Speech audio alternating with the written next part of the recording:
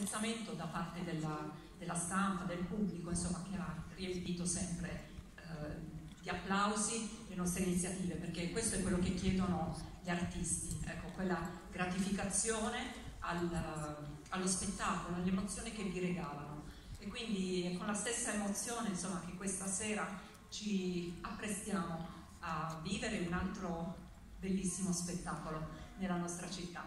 Quindi dopo la prosa vi aspetto ancora per le serate verdiane prossimamente e poi torneremo insomma, lasceremo che questa città poi viva i suoi riti della tradizione, la festa patronale e noi ci ritroveremo dopo per continuare insomma, ancora con questo cartellone fino alla fine di settembre. Grazie.